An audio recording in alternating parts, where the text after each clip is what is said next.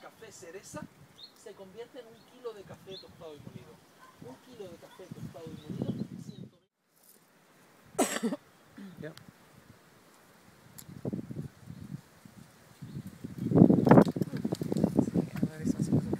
A ver, ahora que dos voy a coger aquí.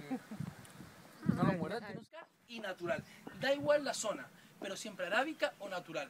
Sé, arábica o robusta. Robusta es segunda categoría porque son aromas mucho más fuertes, más duros, y arábica son aromas más limpios y mucho más agradables. El tostado natural. Aquí en Canarias nosotros se consume mucho el torrefacto. El torrefacto es la peor categoría. ¿No sabes lo que es torrefacto, verdad? Sí, Con azúcar, Ella ¿no? no sabe. Pero ¿sabes lo que pasa? Que diciembre, enero y febrero. Noviembre todavía tienen un puntito ácido y, y marzo ya empiezan a estar muy maduras. Y así que imagínense en abril ya empieza a estar muy madura. Pero así todo, la gente dice que le gusta bastante. Yo que soy muy naranjero. ¿Te recuerda al agua pequeña cuando era de infancia? Sabe a diablos, pero todo lo que es malo es bueno, cura. Y se toma, en, aquí solamente ha llegado en zumo, en jugo, y se toma en ayuna un poquito todas las mañanas y tiene un montón de propiedades. Y se venden varios. En herbolario sobre todo. No le pudimos poner a la bodega Bodega Naranja, porque el nombre Bodega Naranja ya estaba ejecutado, le pusimos Bodega Los Berrazales, porque ¿cómo se llama? El fondo del barranco.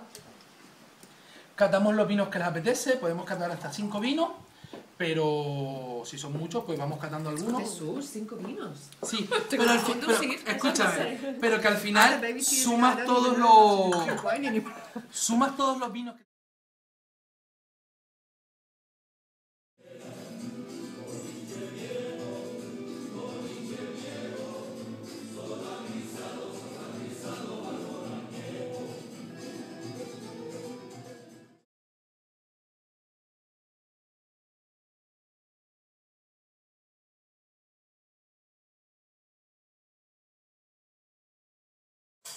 y vamos a ponerle, que tenemos aquí, sal gruesa.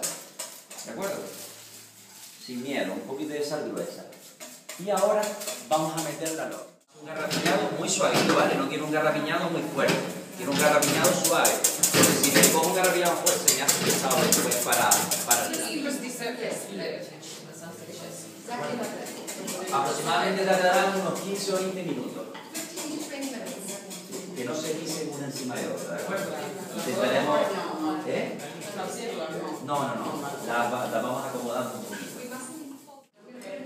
Creo que se te cayó el- ¿Cuánto tiempo?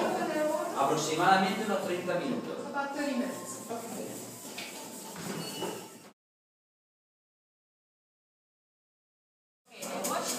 La hemos, la hemos dejado, se pueden dejar de un día para otro en remojo para que cambie toda la tierra. Okay, you can leave them in, uh, in water just uh, one day, just to take away the, the, the earth. Supuestamente.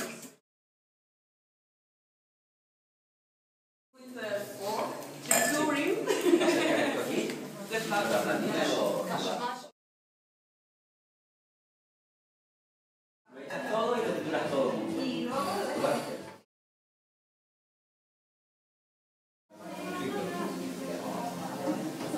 si terminamos, y, a la otra- y el otro le falta el crujiente, ¿no? A la otra parte le falta el crujientito, ¿no? Ah, sí. Sí. Venga. Vamos a coger Vamos a ir salteando las papas si quiere, vamos a encender el fuego y las salteamos ya. No sé, la compañera Ah, para eh, comer, a poner el mojo, o pon el mojo si quieres tú, yo no sé si ella va a hacer sacar el arroz. El, el arroz siempre Okay, azafrán yeah. en hebra y lo vamos a salar un poquito nada más. Okay, now we'll put some salt. Just a little bit.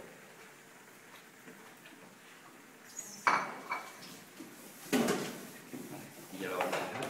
Y vamos a añadirle para que vaya cogiendo. La aceituna le va a dar un sabor particular al arroz, ¿de acuerdo? Diferente a lo, a lo, a lo que estamos acostumbrados. Okay, the olives will give a different taste to the rice that we're not used to. One is doing, as you can see. Y en este caso, como el fuego no es homogéneo, pues vamos. Wow, Juan, what have you done? Beautiful. That looks fantastic. Wow. And what is that in the middle? ¿Ves cómo se quedan hecho that's the chicken. galletitas? Totalmente hecho mm. galletas. Wow. Beautiful. Nice presentation. Doesn't that look great? That looks too nice to eat. Yeah. Do we have Tupperware? yeah. Cheers. I haven't seen Cheers. a pa- paella that Yeah. beautiful in a long I time. know. He's been authentic. Thanks to the chef. Yes. Thanks, Juan. Good job.